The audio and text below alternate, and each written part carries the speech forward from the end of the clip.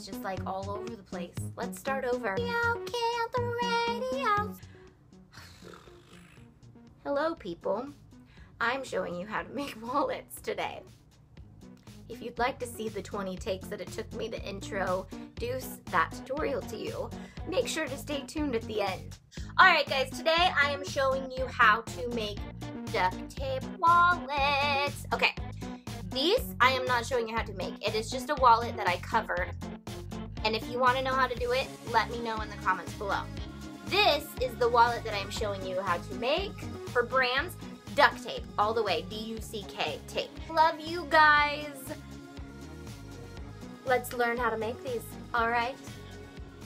Alright guys, so the key to the duct tape wallets that I make is I line them with foam, which will make such a big difference in your wallets when you're done. So I just get the larger 1 8 foam from Joann's and then I cut it 7 inches wide so that you can fit money sideways in them. And then I just cover the inside and I always work from the inside out and that way I get all my scraps going towards the front and then I'll cover that at the end. It'll look pretty bad until you're actually done with it. So just don't be alarmed. Okay, so we're gonna wrap all those extra pieces around and then we're gonna start on the credit card holders and the ID holder. So I got these ID strips strips. I don't know what they're called. They're like the shields that you get in the duct tape section at Joann's. And I'm going to trace it six times so that I have six credit card holders and my duct tape. So then I'm just going to lay them out and get them ready to start covering. I only cover one side and then I just use the um, the cardstock to be on the inside so that way you're not I've noticed that when there's cardstock on the inside, the credit cards slide a little bit better.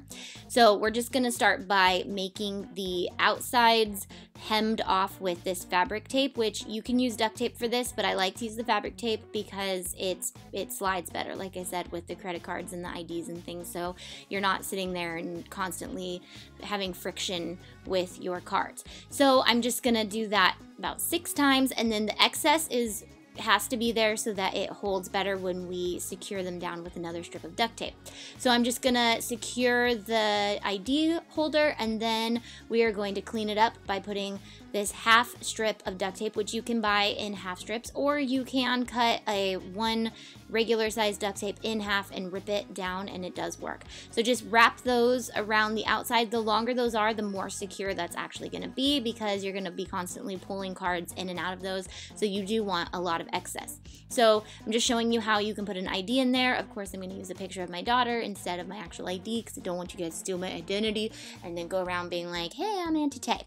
All right, so now we're gonna make the pocket for the bottom. This is where you can hold your money and all your I don't know what else you carry in your wallet, but all that good stuff. So I'm just to trace the bottom and finish the top off with the fabric because you'll also be putting stuff in and out of this. So you kind of want it to be secure.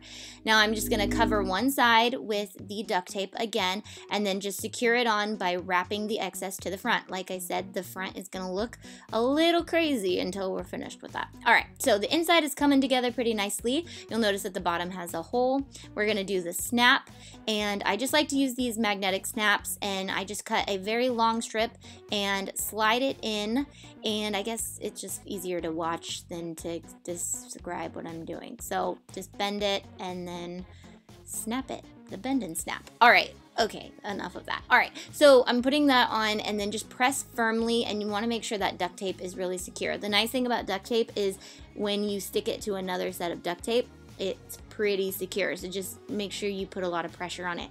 So I'm going to start in the middle with this and I'm actually using the really cute Disney Princess um, duct tape that you can get at Joann's and I'm going to start in the middle for the fact that I've got to put the snap on and we're just going to peel back that and stick it so we're going to stick it onto the thing so we know and then make an impression so that we can see where it needs to be like so, and then pull that off and stick it through so that your snap will make sure to align. That's probably the best way that I've ever come up with doing it. I've done it a couple different ways and that's that's really the best way that I've found.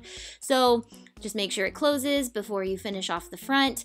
And the thing with the Disney Princess is it's it's kind of made to line up so I had to do it in pieces which if you have some a different pattern sometimes it doesn't really matter if you do it perfectly but this one I kind of I've had to match up and then you you just use excess. So this time we are not wrapping it around because the other side is already complete. We don't want to ruin that.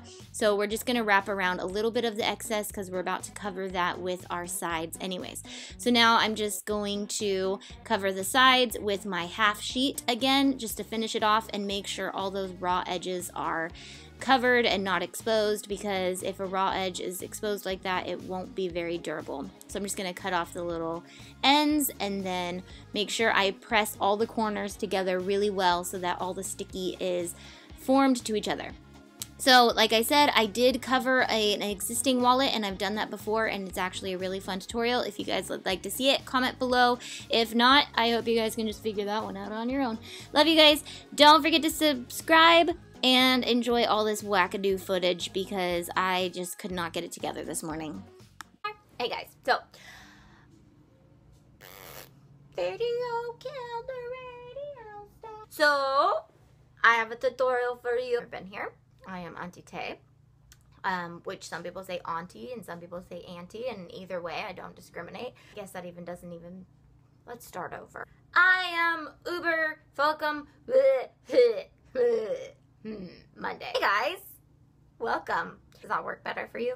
Does that work better? Is that better for you? It's Me. Okay, there's like a mom walking, two kids in a stroller, and one strapped to her. Go mom. Okay, I'm showing you guys how to make wallets. That's the disclaimer right now. Okay, I'm making wall. Hey guys, I'm telling. Why your intro so short to me? help me out here. Help me out. Help, help me out. Help a sister out. Let's start over. 10 seconds, but now like 50. Bye.